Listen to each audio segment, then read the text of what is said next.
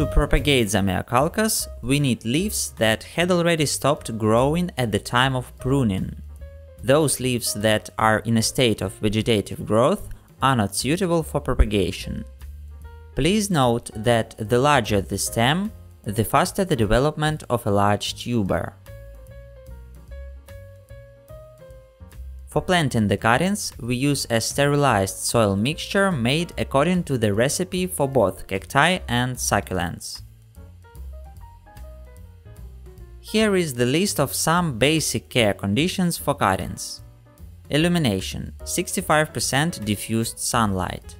Daylight hours at least 14. Temperature is from 20 to 25 degrees Celsius. Watering frequency with a slight drying of the soil mixture between irrigations. After 30 to 50 days, the cuttings turned into plants. The main percentage of cuttings had developed the root system and formed tubers perfectly.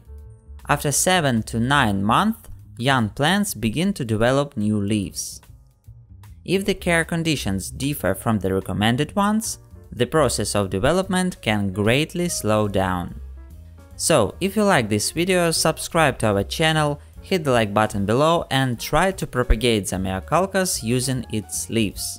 I wish you good luck and see you in the next episode.